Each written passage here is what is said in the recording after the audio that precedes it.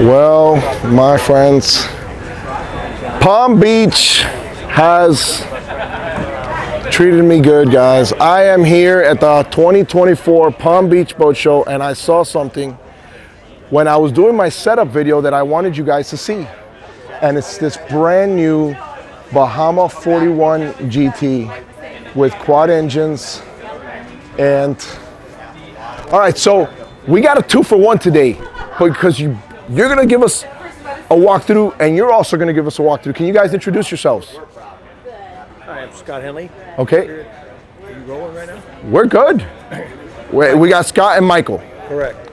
Okay, Good morning. We're at the 2024 Palm Beach Boat Show. We're debuting the new 41 GT model. Everybody's been asking for the dual row seating, so we did a uh, revamp the whole console, hardtop seating as well.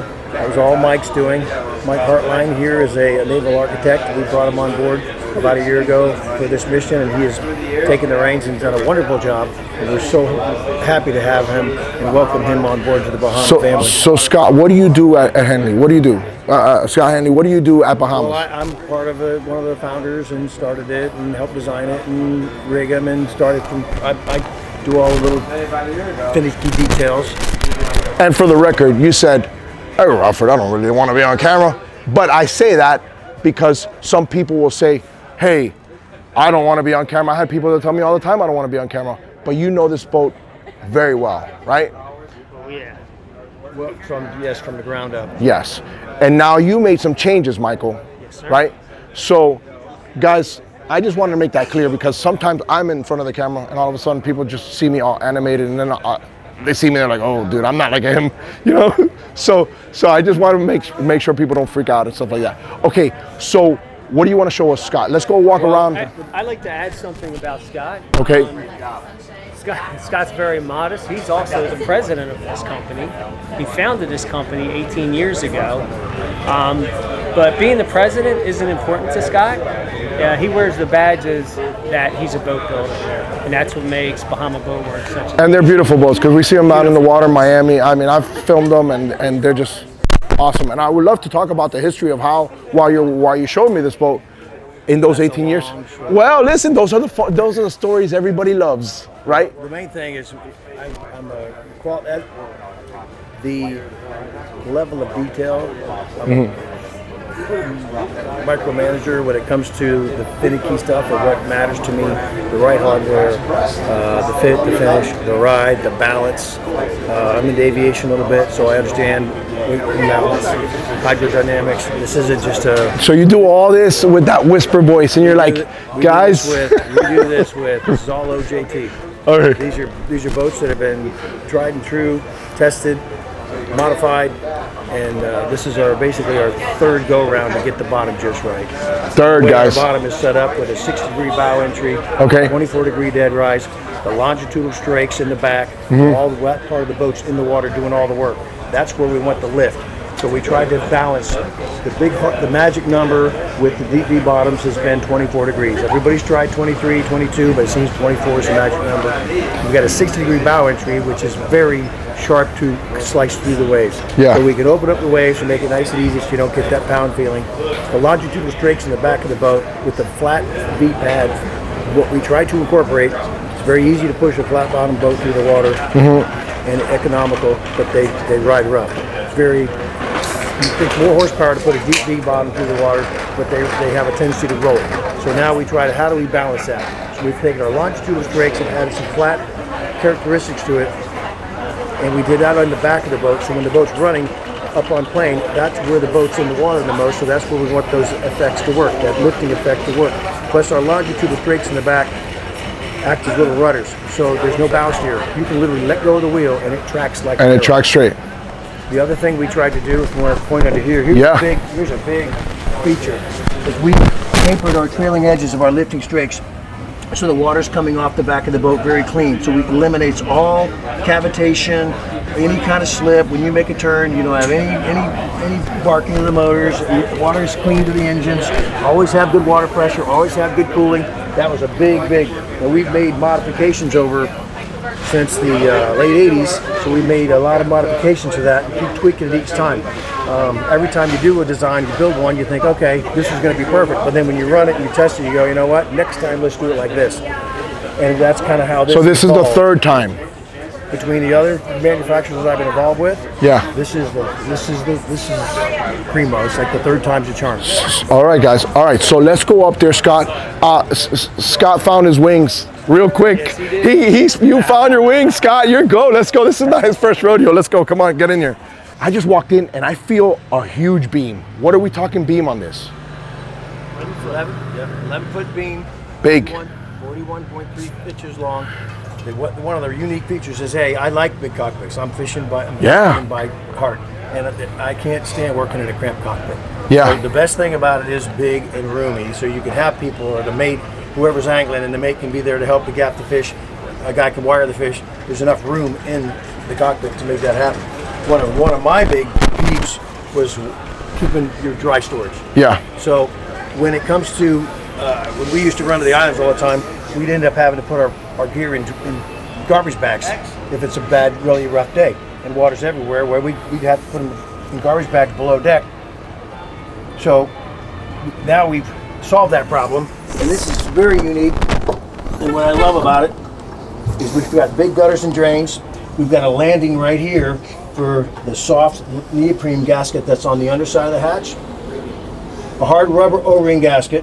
This does a couple of things. One, it controls the distance and the amount of pressure that this that the black neoprene gasket is going to see. So people say, "Oh, I've seen that all. It's on other boats." But when they overload this gasket, it wants to push out and push, and then it'll, it'll fall out, and then it ends up hanging. So this this controls the O-ring gasket controls the spacing. So there's a nice even pressure on the gasket that does its done. So the water has to get through this first seal, then get through the O-ring seal. And the other thing off- offers is when the dog gets hatched down, Yeah. it actually retracts, so it pulls it down tight, so it has a true positive lock. If you notice, Show that again. There, there you go. There you go. you. So we have a strike plate right here. When you close this down, it actually pulls it down tight. The other thing it does, the way where hatches are made, there's no deflection, there's no hatch chatter. You don't feel any any movement. Uh, a lot of manufacturers will use a double jointed hinge because it makes their hinges, makes your hatches fit the hatches easier. But we have a true uh, studded, no fastener showing, and it's, it's like a door on your hinge or your boat. I mean, on your house. You, the, the thing's got to be lined up perfect, otherwise it won't. It won't. Uh, Well, I can already tell that you really love analyzing the details, and and I'm assuming you're a fisherman yourself. yes, that's where I grew up. I've been Oh. running boats for 30 years. My, I grew up on the water fishing. I ran boats by, from from mating, long lining to, to uh, running boats for the last since about till 90 from 1990 1978 to about 1998. I did it So tell me a little bit about the founding of Bahamas, real quick, because because obviously you've you've seen the uh, the evolution of how you've designed boats and how boating has changed, and, and as far as how they're made, you know, let, let me know a little bit of the construction, how this is made, and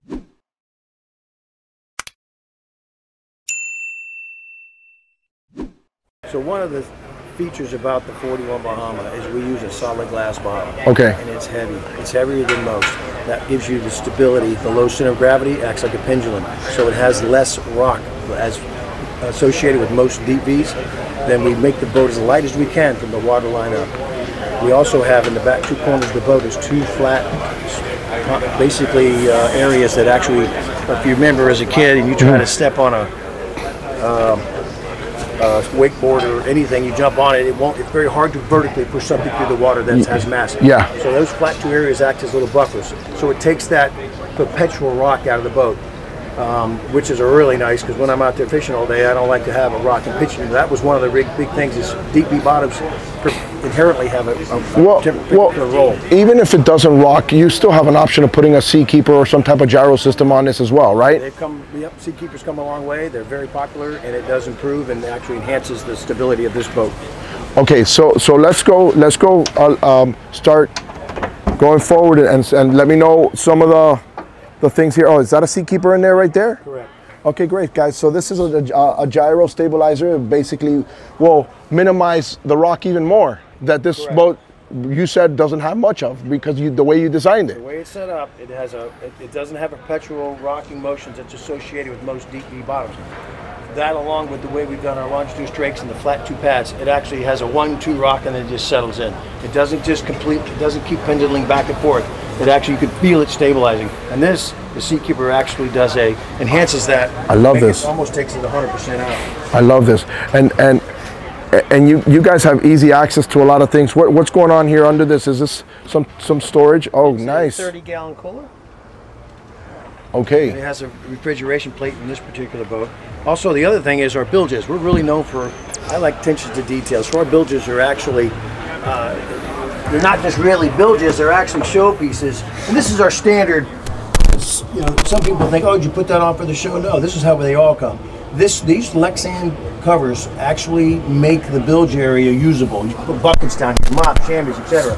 Most manufacturers just have an open exposed bilge. You can't put anything down there. Um, so that makes it nice. Plus, they're on hinges where you can get access to them and you can see what's going on. You can, you can, if you need. And you're not going to have anything get in there that shouldn't be in there, correct. which is huge, right? Because how many times has somebody said, "Oh yeah, I had a couple of leaves and my my bilge didn't work and now I'm sunk." That we use the best pumps, the best float switches, the best wire.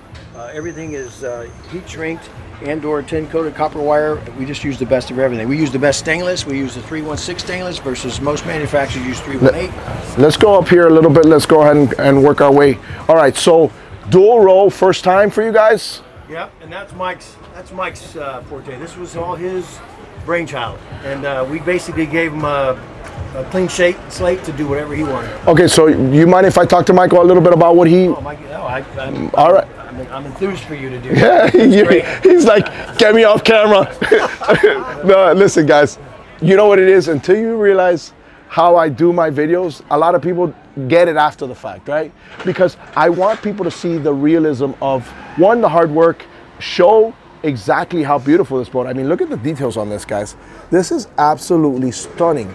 And I want to talk to that now. So, Michael, tell me what, when you, I guess, got hired, right, naval architect, Yes. to do some stuff here. What was, what was the thought process and what did you do? So Scott and I have been talking for several years about being a naval architect and running this factory.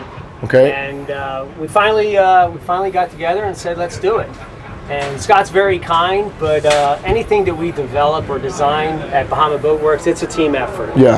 Um, we all had a big part in this, and especially our customers. Our customer feedback indicated that they would like to have a more uh, family-oriented lifestyle, and that's how the uh, second row seating became uh, one of the options we wanted to offer.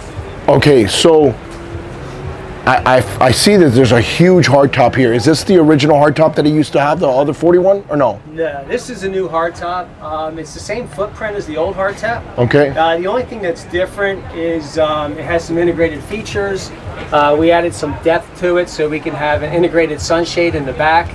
Uh, the speakers are integrated. The uh, we also have a freshwater rain shower head in the port corner there. I did notice that also earlier.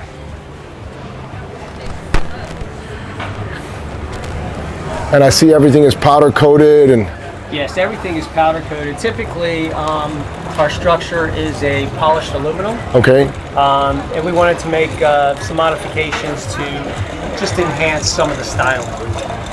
But uh, let me know uh, a little bit about the helm and, and what the thought process is Sure, o- of so- this. Sure.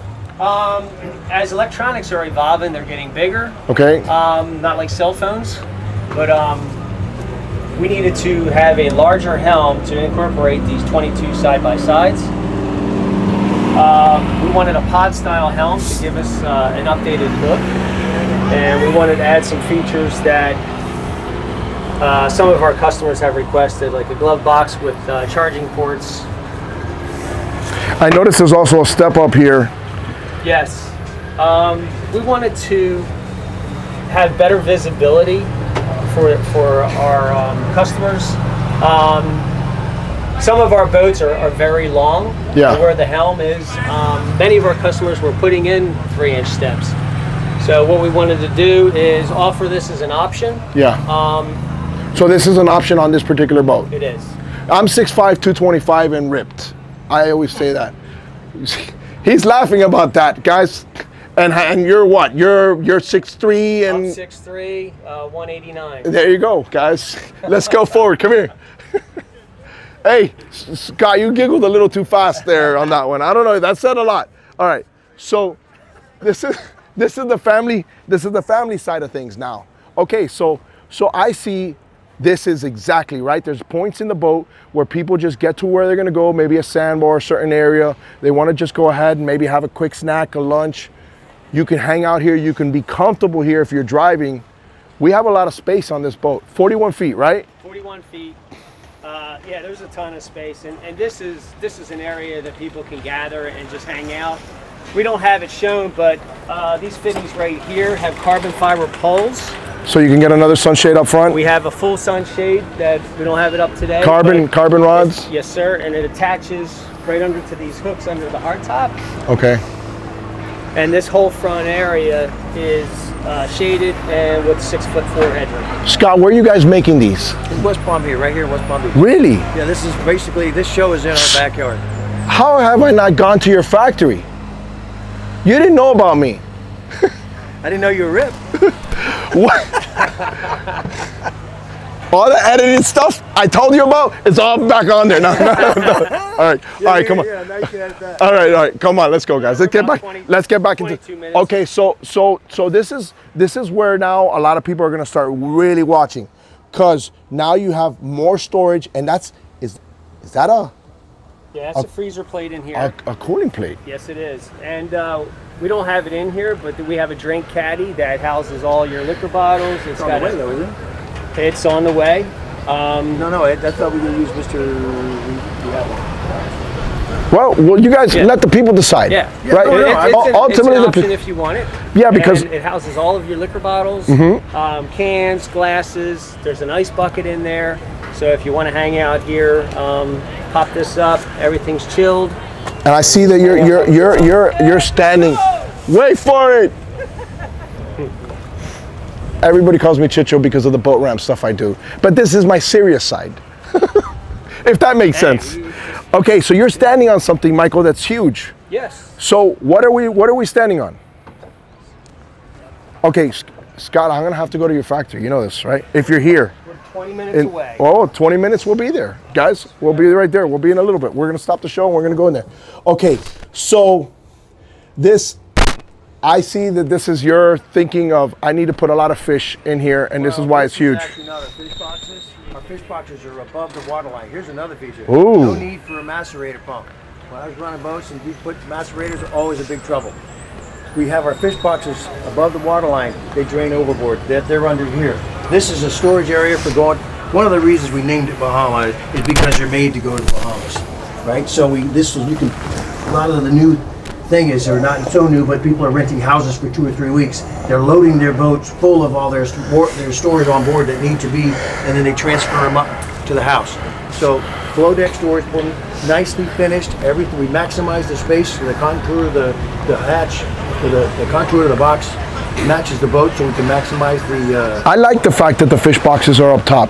You know, as the older I get, the lazier I get, to be honest with you. And I like to be able to just go ahead and grab it, open the thing. I probably won't have those cushions when I'm fishing Right. on the boat and just throw them in there without even worrying about it. And, and like what he's saying, is you have plenty of storage. Also the same system that we talked about earlier. Yeah. And Same. also, s- if you notice, the backs of our hatches and everything is hand finished. Everything's hand finished, and everything is made where it's it's very rigid, where there's no deflection. That's what I I can't stand getting on boats, and I've been on even some nice sport fishing boats that that when you walk on the hatches, they deflect and they creak and they make noise. I call it hatch chatter, or when you're running. or flex, right? You don't want to, uh, especially when you're 6'5", 225. But both of us. You don't want, look, all three of us on here, guys. Just, just gotta so- move. Yeah, yeah, we're good. Okay, show me those fish boxes, because that I, I want to see. I want to see if I can fit a swordfish in here. What's up? Let's go.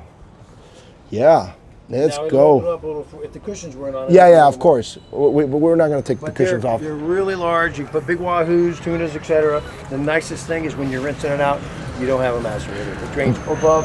Table easily removed so I can get towards the bow if I wanted to. Yep, The other thing is you can see the difference on these hatches. Our fish box hatches are about twice as thick, so there's more insulation on them. That's a big deal. Again, it's airtight, Yeah. which is another big deal. A lot of coolers and, and fish boxes lose their uh, cooling capabilities, but just because there's, there's the air. Scott, let's just say that I wanted this completely open. That could also be a.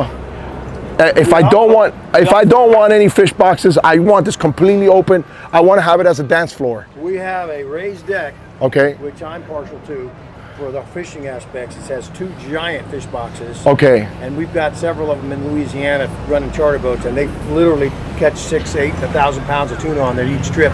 Uh, and whether it's tuna, cobia, swordfish, snapper, they love those fish boxes because they take a party of six out, and then they take about six, eight hundred pounds of ice.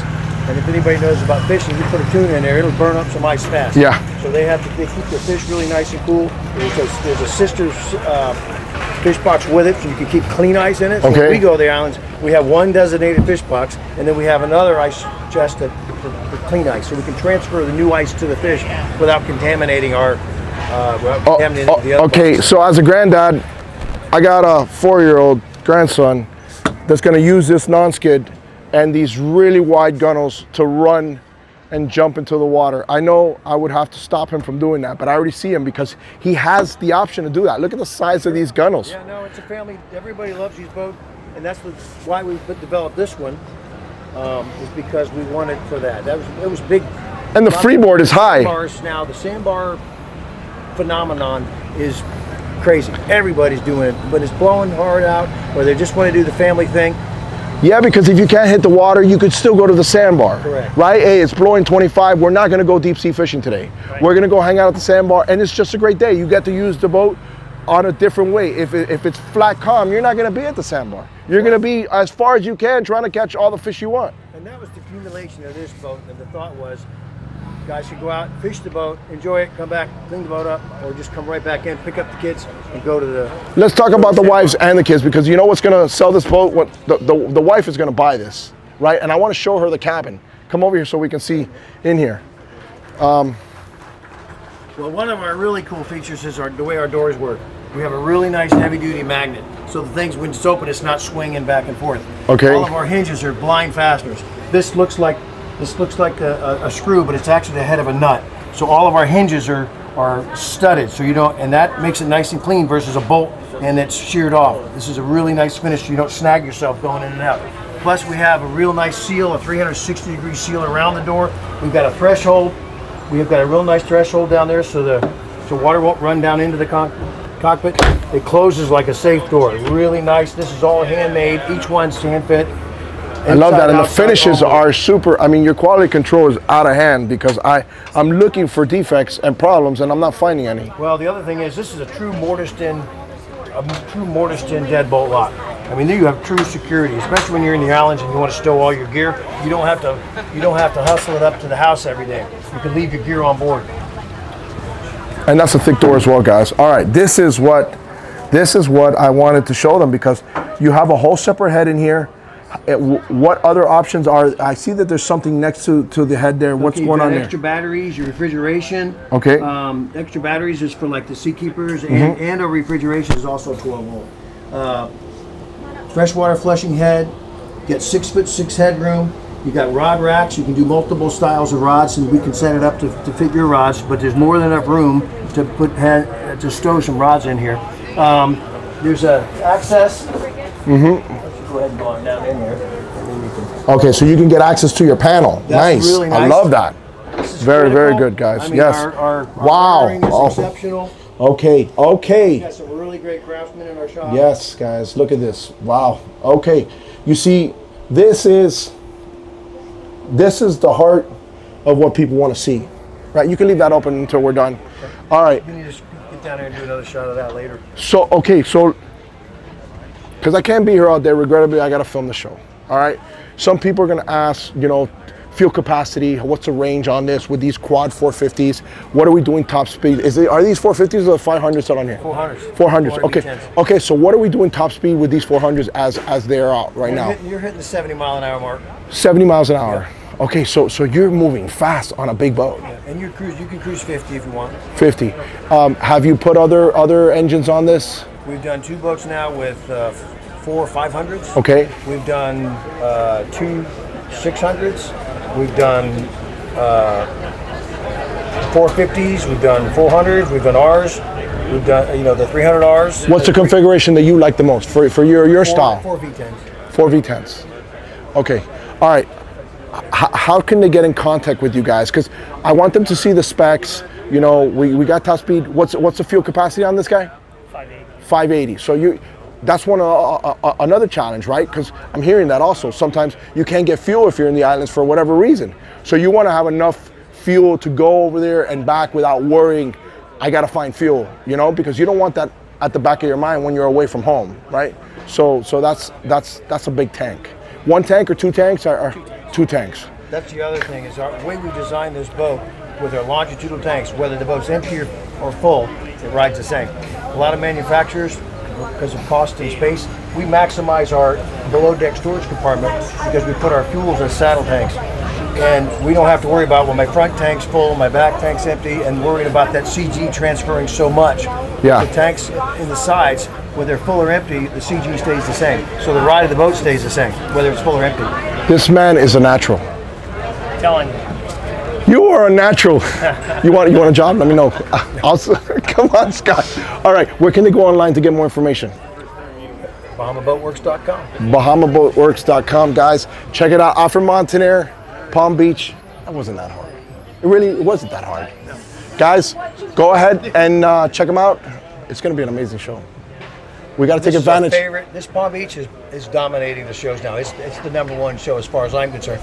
Oh, Used to be I- I- Lauderdale, Miami. I just anymore. Scott. Palm Beach has got I just did a video with Informa showing the entire setup, and it's 50% bigger. This is the place to be, and I'm saying it. Well, Me, we're happy to be here. I'm saying it. This is going to be the place to be, right here. And I'm from Miami.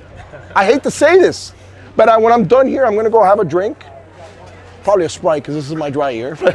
But I'm gonna have a drink. I'm gonna eat. I'm gonna have a good, and I don't have to worry about parking or anything like that. It's easy. So big shout out to Palm Beach, Alfred Monte, Dominican Scene. As always, I'm out of here, guys. Take care. Bye.